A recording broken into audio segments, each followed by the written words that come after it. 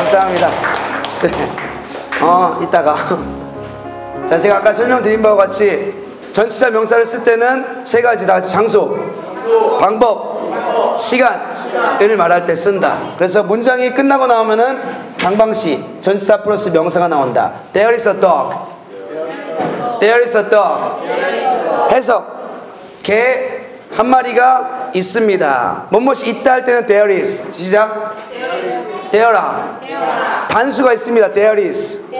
복수가 있습니다. there are 복수명사, there is 단수명사. 여기서는 a dog니까 개 한 마리가 있다죠. 문장이 사실 이걸로 끝나는 거예요. 근데 부연 설명하기 위해서 뭐가 온다? 장방시, 전치사, 명사가 온다. in the box.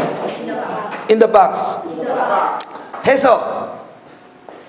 개 한 마리가 어디 안에 있습니다? 박스 안에 있습니다. 뭘 말한다고 얘는요? 장소. 이해가 되죠? 뭐, 뭐, 뭐 말할 때 전명 온다고요?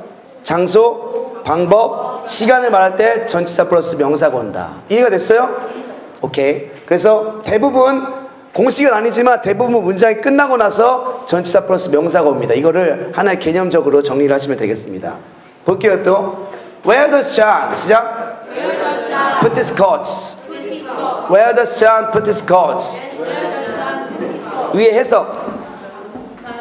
좌는 어디에 그의 코트를 둡니까? 그쵸? 그래서 물어볼 때는 먼저 가장 중요한 게 의문사를 먼저 써주고 물어본다. 의문사. 의문사를 써주고 그 다음에 조동사가 오는 거예요. 다 같이 의문사. 조동사. 그 다음에 동사 원형이 와요. 다 같이 의문사. 조동사. 주동목. 됐어요? 그래서 동사 원형이 온다. 다 같이 물어볼 땐 원형. 물어볼 땐 원형. 대답할 땐 S. 다 같이 물어볼 땐 원형. 대답할 땐 동사 S. 다시 말해서 동사는 다 쓰죠. 그래서 이것만 해볼게요. He puts coat. 문장이 끝나면 뭐가 온다? 장방시가 온다. 공식 알겠죠? 문장이 끝나면 뭐가 온다? 장방시. 여기까지만 해석. He puts coat. 말을 하셔야 돼요. He puts his coat. 해석. 그는 줍니다. 그의 코트를. 그럼 어디다가 나오겠지? In his closet. 시작. In his closet. 뭐에 둔다? 그의 장롱에다가 둔다. 됐어요? He puts his coat in his closet. 시작. Where does John put his coat? 시작. Where does John put his coat? 그게 Where does John put his coat? He puts his coat in his closet. 됐어요? 다시 한번 해볼까요? 좌는 어디다가 그의 코트를 두지요? Where does John put his coat? 답변해 보세요. He puts his coat in his closet. 좋습니다. 근데 이걸 강조하고 싶으면 앞으로 빼도, 빼도 돼요. In his closet, he puts his coat. 시작. 네, 좋습니다. 어쨌든 이게 하나의 청크고 하나의 청크다. 두 개의 청크로 구성되어 있다. 청크는 단위를 말한 거예요. 덩어리. 다 같이 청크. 덩어리. 두 덩어리로 봐야 돼. 두 덩어리. 이게 뭐 he puts his coats 이게 아니에요. He puts his coats in his closet. 시작. 두 덩어리예요. 두 덩어리 느낌 들어와요? 뒤에 있는 덩어리 먼저 말해 봅시다. 시작. In his closet, he puts his coats. 됐습니까? 오케이. 자, 이제는 다시 honor. honor. honor. 온더는 뭐뭐 표면 위에. 표면. 그래서 아까 이는 공간이죠. 안에. 오는 표면. 그래서 이것도 역시 장소명사입니다. 장소명사. 그래서 여러분들 이 전치사 플러스 명사 가 올 때는 뜻이 세 가지밖에 없다고 했어요. 세 가지 뭐라고요? 장소, 방법, 시간. 그래서 이 전치사 다음에 장소 명사가 오면은 그게 장소에 관한 게 되는 거고 시간 명사가 오면은 시간에 관한 뜻이 되는 거고 방법 명사가 오면은 방법에 대한 뜻이 되는 거다. 그래서 전사 이내 24가지 뜻을 외울 게 아니라 장소의 뜻과 방법의 뜻과 시간의 뜻을 알면 개념적으로 알면은 우리가 문장을 만나도 해석할 수가 있게 된다. 이해가 됐어요? 자, there's one man. There's one man. 해석. 그래서 한 사람이 있다. 어디에? The moon. 어디에? 달 위에 달 표면 위에 There's one man on the moon. There's one man on the moon. 자, 여러분 해보세요. 달 표면 위에 한 사람 있다. 다시 한번. 달 표면 위에 한 사람 있다. 네, 좋습니다. Where does Susan put the car? Where does Susan put the car? 해석. 수자는 어디에 그녀의 차를 둡니까? 자, 다 같이 물어볼 때는 의문사, 조동사, 주동목. 다시 한번 시작. 의문사, 조동사, 주동목. Where does John? Where does Susan? Put this car. Put the car. 어디다 그녀의 차를 둡니까? 그럼 답변할 때는 동사한다? 동사한다? 좋습니다. She puts a car. 다시 she puts a car. On the grass. On the grass. 해석. 그녀는 잔디 위에 그녀의 차를 줍니다. 됐습니다. He, she puts a car. puts her car가 아니고 puts a car. She puts a car. 덩어리 몇 덩어리? 첫 번째 덩어리 시작. Puts a car. 두 번째 on the grass. 앞에 뒤에 있는 거 강조 시작. On the grass. Puts a car. 됐습니까? 그래서 영어는 첫 번째 법칙이 주동목이 오고 전명이 온다 이거예요. 오늘의 테마는 그거예요. 다 같이 주동목, 전명, 주동목, 전명. 그러니까 여러분들이 영작을 하고 싶다 그러면 이 프레임 안에서 하셔야 되는 거예요. 알죠? 그래야지 영어인 거예요. 이게 기본 법칙이에요. Where does Sean put the boat? 큰 소리로 Where does Sean put the boat? 답변 어떻게 해야 돼요? He puts his boat. He put the boat. He puts the boat. 시작. He puts the boat. He puts the boat on the lake. 어디다 둔대요? 호수 위에 표면이죠. 언더는 표면이라고 했어요. He puts the boat on the lake. 시작. He puts the ball on the lake. 좋습니다. 자, 다시 over. over. over는 뭐뭐 위에요. 뭐뭐 위에 표면 표면에 붙어 있는 건 on이고 뭐뭐 공간 위에는 over입니다. 다시 over. over. over the sky. there is space. over the sky.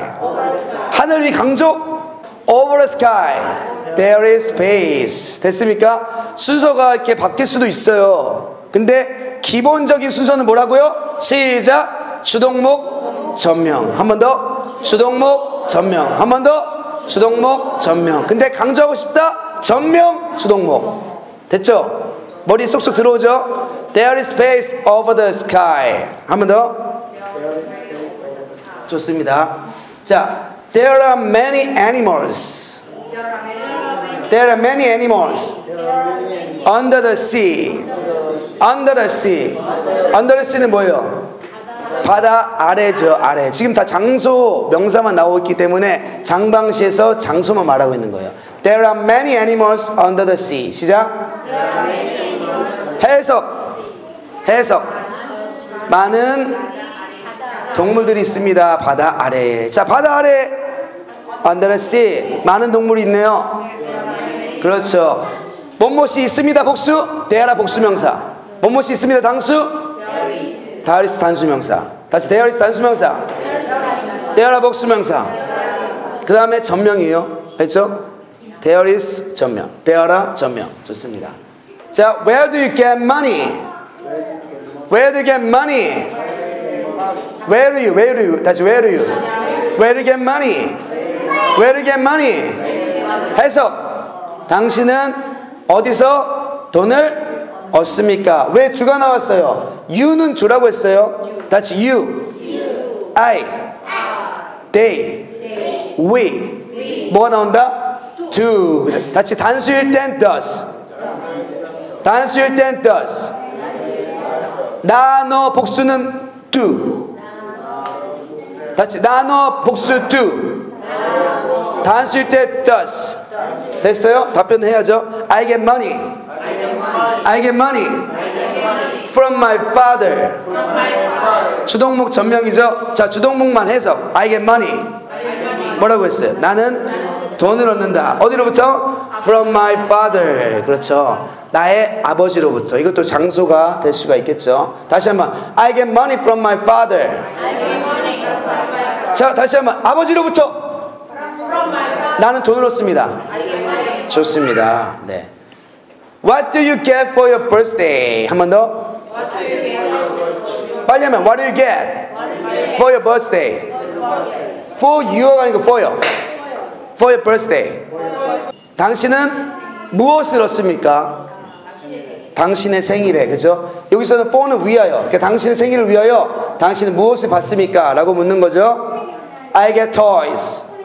I get toys from my father for my birthday.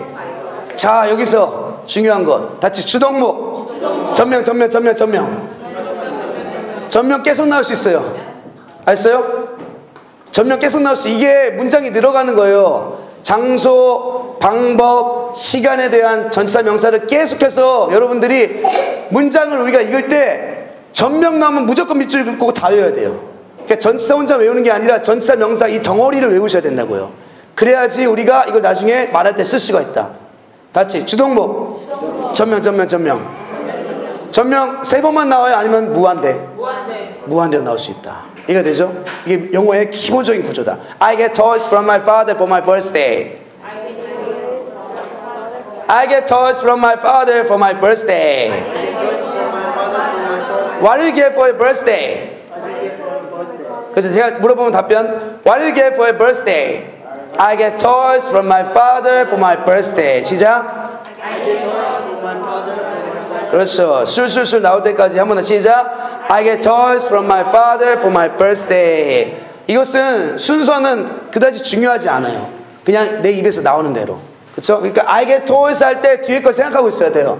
I get toys from my father for my birthday. 아니면 I get toys for my birthday from my father. 됐죠? 이 청크 덩어리가 지금 몇 덩어리? 몇 덩어리? 세 덩어리. 주동목 하나, 전명 둘, 전명 셋. 세 덩어리 보이세요? 세, 병, 세 덩어리 보이세요? 끊을 수 있습니다. I get toys from my father for my birthday. 됐어요? 좋습니다. 자, 박수!